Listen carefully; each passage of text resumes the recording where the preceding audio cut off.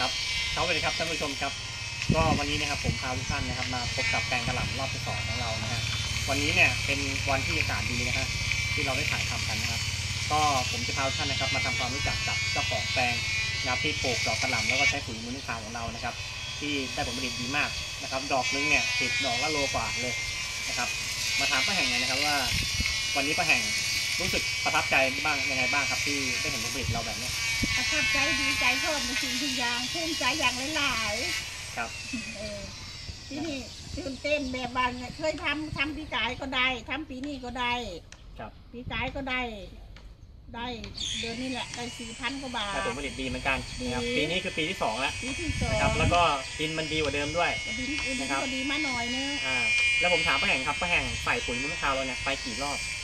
ครั้งแรกยี่สิบวันไปโรยไปหน่อยนึงครับโรยไปห้าโลเลยไปห้าโลโรยไปห้าโลที่ตอนมันน้อยน่ะโรยไปตห้าอนโลตอนเล็กนะฮะเออตอนยี่สิบวันเอใช่ไหมอโอ้ยี่สิบวันโรยไปห้าโลห้าโลที่นี่ก็อีกเดือนหนึ่งก็โรยไปอีกแปดโลอ๋ออีกแปดโลอีนะกฮะแปดโลแบบโรยไปเรื่อยๆเนี่ยแบบปุ๋ยมันไอ้พักมันน้อยกว่าพักมันตาย อ่าคือใส่ไปเรื่อยๆ แต่ว่าไปเรื่ใส่อยๆบ่อยเออใส่บ่อยๆ ที่นี่ก็พอพอได้ยี่สิบวันแล้วที่นี่ก็พักๆครับ ปุ๋ยกำลังกินไอ้ พักกำลังกินปุ๋ยก็พักอยู่อีก ที่นี่ครับพักไปอีกสักเดือน เดือนอีกสิบวัน เดือนอีกสิบวันใส่สิบโลครับที่นี่พอเดือนสิบวันใส่สิบโลแล้วที่นี่เมื่อด้วยกันเลยที่นี่ทางทุกทายสองเดือนครับสองเดือนใส่สิบสองโลนี่ไม่ครับไม่ได้บอกทีนี้เนี่ยทีนี้เนี่ยโค้ดวันเนี่ยฮะโค้ดวันป้าแห่งใส่ไปตอนช่วงไหนครับฉีดโค้ดวันวันวันใส่ประมาณครั้งแรกครั้งครั้งแรกอืม ตอนเริ่มออกใบแล้วเนาะ เริ่มประมาณสิบห้าวันใช่ไหมอ่า ยี่สิบวันประมาณยี่สิบวันยี่ตสิอนบฉีวัดนโค้ดวันยี่สิบวัน ขีดที่หนึ่งนะครับ แล้วก็โค้ดวันเนี่ยฉีดไปกี่รอบครับสอง สองรอบนะครับคือฉีดครั้งแรกไปแล้วก็เว้นไว้สักประมาณสักอาทิตย์ถึงสองอาทิตอาทิตย์ ย์ก็ฉีดอีกรอบหนึ่งอีกอีกรอบหนึ่งสองสองรอบ ครับ แล้วก็เริ่มกดทูตอนช่วงไหนครับก็ดูตอนกำลังมันจะหุ่มดอก กำลังจะหุ้มดอกกำลังเนาะหุ่มดอกที่นี่ก็ครับขีดที่ได้ขีดที่เดียวฉีดทีเดียว ที่นี่พอพอพอมันหุ่มดอกขึ้นมาพอมันดอกที่บานหน่อยก็ขีดอีกข้างหนึ่งก็พออืมเพราะมันสองข้างสองข้างได้ตัดครับสองข้างไม่ตัดพอดีนะครับสผอลงผลิตข้างใหญ่พอดีก็ได้อย่างที่เห็นนะฮะนั่นแหละนั่นแหละที่สโชองว์กันข้างเนี่ยได้พอดีเลยโชว์ให้ดูหพนะอฮะกำลังใหญ่พอดีเลยแรกเพราะสองข้างไม่เพราะงามข้างขนาดเพราะข้างที่สอง ข้างที่ที่สองขีดไอ้ไอ้ไอ้ฟ้าเขียวนั่นได้โค้ดทูนะฮะโคตรถูกได้สามวันเขาสี่วันวันที่ห้าก็ตัดอ๋อไม่นานเนาะแป๊บเดียวมันเป็นพนันนี่มันไว้พนันเอามาดูเดี๋ยวสู้ว่าจะถูกโทษเดี๋ยววันหนึ่งโทษสามทีสี่ทีตัดหน่อยแต่ละคนก็ไม่ได้ตั้งใจมานะฮะใจมาชุดไงก็ยังไม่ได้ตั้งใจจะมานะฮะนะครับวันนี้ก็ถือว่าได้มาถ่ายให้เพทุกราะท่านได้เห็นไอ้เออเพราะขีดไปสี่สี่วันเขาวันที่สี่ก็ตัดเลยนะหนึ่ง ครับ มันได้สวยครับวันที่สี่ก็ติดวันเลยที่สี่ก็ตัดเลยทำได้เลยสวยนะครับสุดท้ายอ่าก็แห่งขอฝากถึงคนที่ยังไม่เคยใช้ปุ๋ยเหมือนกันไงบ้าง คนที่ใช่ที่นี่เธอต้องใช้อย่างใช่ก็มาถามถามแล้วก็จีแนะนำให้ทำทำยังไงแบบมันไหนดียังไงแบบไหนมันปุ๋ยดีนี่มันแบดีบยังไง ไหนก็แบบว่าใส่ที่แรกใส่เท่าไรก็ที่บอกลองคนไหนอยากทำก็มาถามที่แนะนำโทรมาหา โทรมามาแห่งได้เลยถามโดยตรงได้เลยต้องปะ ตามหนูตามทางก็ถาม ครับเดี๋ยวจะขึ้นเบอร์โทรข้างล่างไว้นะครับให้โทรถามติดแล้ต่วอมาที่นี่ถามแล้วก็ที่แนะนำบอกให้ทำถ้าไม่ทำมากก็ได้สองร่องสามร่องก็ได้ผลป้าแห่งฝากบอกเนี่ยถึงคนทางบ้านยังไงบ้าง ว่าให้ใช้ปุ๋ยมือคาวยังไง มันดียังไงอะ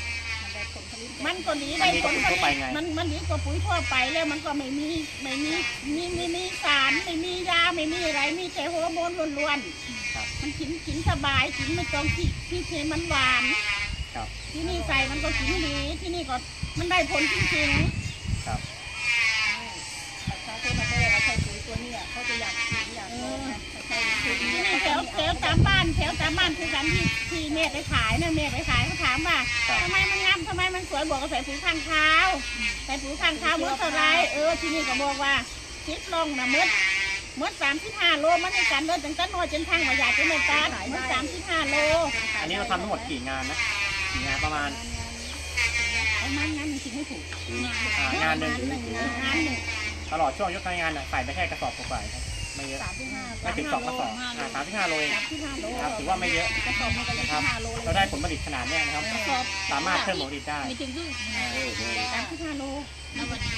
ถือว่าช่างมากเลยนะเนาะดีมากครับแล้วก็เนี่ยได้ถ้าผเกิลดมากสังเกตดอกกระหล่ำนะฮะดอกกระหล่ำเนี่ยนะครับมันมันจะเรียนครับจะเรียนอย่างนี้เลยเขาบอกว่าโอ้ทำไมมันงามแค่นี้เขาใช้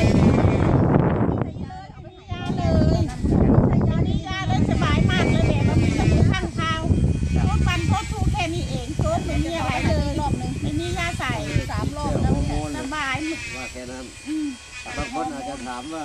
กดยาไหมว่างั้นน่ะเนาะไม่ได้ลก็ดถามพ่อไปเลยไม่มันงามจะตายไปแห้งจะกี่ได้เหรอไม่มียาขีดเลยเขาบอกใส่ปุ๋ยข้างเท้า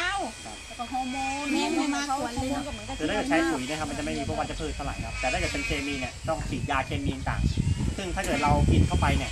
ก็มีแต่เคมีนะฮะ เพราะว่าเอ็งเอาไปล้างน้ำเราก็เลยอยากจะต้องปรับเปลี่ยนแนวคิดของเกษตรกรนะครับโดยการให้ลองใช้อันเนี้ยดีที่สุดเลยที่ที่ไทไทยยเราเองไม่เองไม่เบรกอะไรทุกเดี๋ยวทุกทายมันก็ดีทุกๆเลยหนูเอ้ยแม่ก็สบายใจที่แม่ทำปีกายก็ดีใจทำปีนี้ก็ดีใจแม่ก็ได้หลายอยู่มีกำลังใจภูมิพอใจเช้ามาก็เห็นกระหลำงามก็มองแล้วก็สุดท้ายนะครับคุณก็ทำอะไรผลขอฝากนี่เนี่ยลงไว้ทุเพียนงเท่านี้นะฮะเออก็ลงทุนทำมันก็ได้ใครอยากมาชมแปลงนะครับ อยากจะมา ฟังข้อมูลจากเกษตรกรเนี่ยก็ติดต่อเบอร์ข้างล่างได้นะครับ จะได้โทรมาสอบก็ถามได้ได้ผลประโยชน์สมาชิกเจสีว่าคนที่ใช้ปุ๋ยคาวท่านเนี่ยก็สามารถโทรมาสอบถามได้คือคว่ารับมันวันทำจนี้ริงนะมันครับได้จริงก็นะลุงผมครับก็แล้วก็ทีมงานทุกท่านเนี่ยก็ขอฝากไว้เพียงเท่านี้นะครับผมครับสวัสดีครับผมทำจริงได้จริงค่ะสวัสดีค่ะเจอกันนะครับคลิปต่อไปบายอย่าโทษติ๊ก